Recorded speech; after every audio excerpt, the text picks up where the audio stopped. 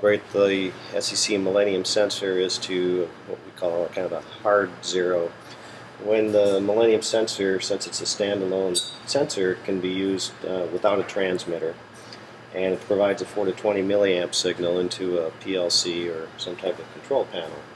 Right now I've just got the current coming into the meter to demonstrate the uh, third calibration procedure. And how you calibrate it without a transmitter is um, quite easy. Now the Millennium sensor has four wires coming out of it, a red wire for positive 24 volts DC, a black wire for negative 24 volts DC, a white wire for, this is our calibration slash uh, communication wire, then the blue wire, which is hooked up to the current meter, is the 4 to 20 milliamp output.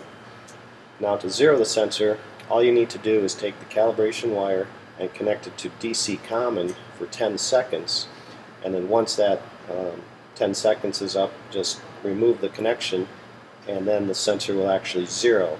And that's why I have the current meter hooked up to it because you'll see it drop down below the 4 milliamps when it's actually doing its zeroing procedure. So if it is connected to a terminal you take the white wire off.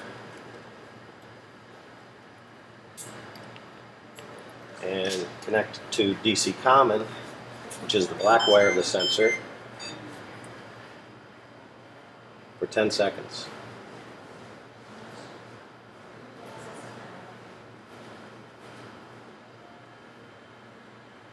Once you break it, you'll see it drop down to the 2.2 milliamps. That's a zeroing mode, and it just goes back into normal operation then. And that's the third way to zero the Millennium sensor when it's used just as a standalone infrared sensor along with somebody else's control panel or PLC. And then just uh, reconnect your wires and you're good to go.